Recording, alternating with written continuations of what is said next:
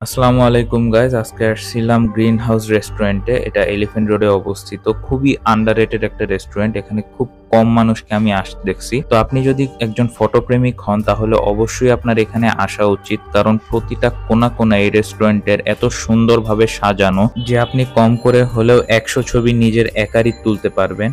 আর indoor outdoor দুইটা party এদের সুন্দর করে সাজানো, দুইখানেই আপনারা খেতে পারবেন। বাট হচ্ছে খাওয়ার জন্য আমি সাজেস্ট করব যে ইনডোরেই খান, কারণ বাহিরে এখন খুবই গরম। আর খাবার আমরা নিয়েছিলাম মাটন কোরমা, সাথে লাচ্চা পরোটা, আর হচ্ছে যে বাটার নান। খাবারের কথা বলতে গেলে খাবার খুবই মজার এবং খুবই বাজেটের ভিতরে। আমি যে খাবারগুলো দেখালাম এগুলো হচ্ছে তাদের সিগনেচার আইটেম সো তারাই সাজেস্ট করবে আর খাবারের পরিমাণ স্বাদ কোয়ালিটি সব একদম ঠিক আছে। মাটনটা অনেক বেশি সফট এবং জুসি ছিল। থ্যাংক ইউ আমাকে সময় দেওয়ার জন্য।